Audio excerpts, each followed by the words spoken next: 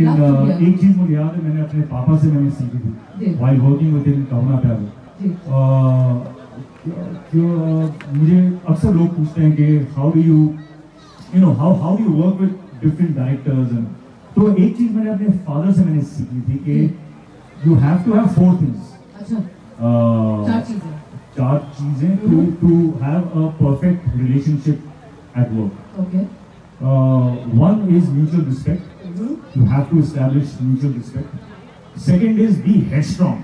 कि मेरे मेरे uh, मेरे mind में मे, my idea is is very strong. Okay So headstrong about your conviction. Your conviction. Uh, third thing is courage to talk about it and to say no, I I I I wanted to be like this because I know I'm right. And the fourth thing is tolerance to know that you could be wrong. Wow. Wow. So when you Wow. have these four things. Superb.